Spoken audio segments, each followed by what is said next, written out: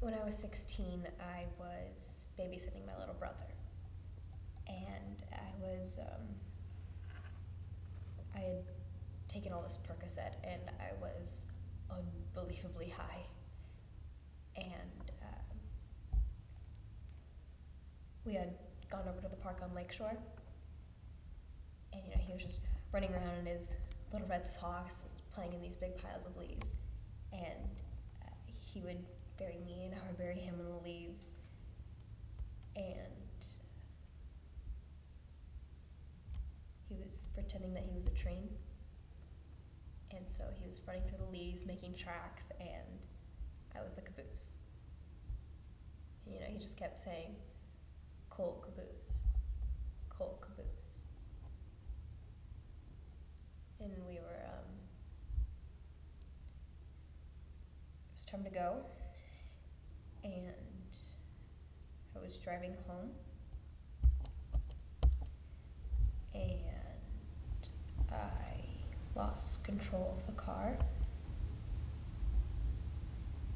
And the car went over the bridge and into the lake. And I couldn't get him out of his car seat. And he drowned. You know, I struggle with God because I can't forgive myself. You know, I don't really want to right now. I mean, I can live with it, but I, I, I can't forgive myself. You know, sometimes I don't want to believe in a God that can forgive me. But I do want to be sober. I'm alive and I'm present and there's nothing controlling me. You know, if I hurt someone, I, I hurt someone. I can apologize and they can forgive me. Or not. But I can change. So I just I just want to share that and say congratulations that God makes you look up. Like I'm so happy for you, but if he doesn't come here. That's all. Thank you.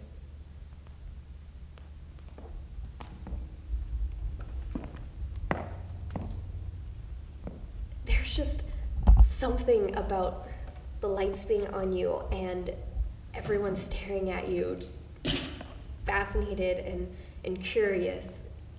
I mean, it's intense, but I, I love it.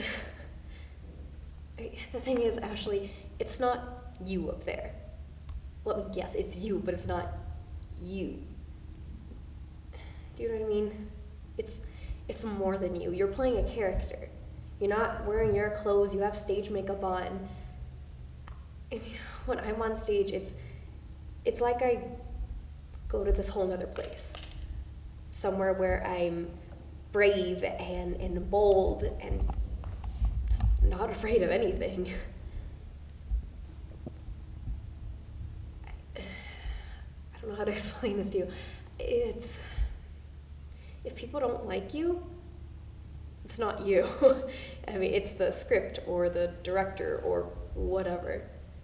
And it's like you just you just drink in the whole energy of the audience. I mean, how could you not love that? Mm-hmm. Okay. It's I'm super nice, right? But on stage I can be wicked and, and cruel and I can just get that all off my chest. I mean, it's it's a release. The thing you have to remember is that it's not about you. Okay, nobody cares about you when you're on stage, okay? It's all about the character. You are merely a vessel. Does this help at all?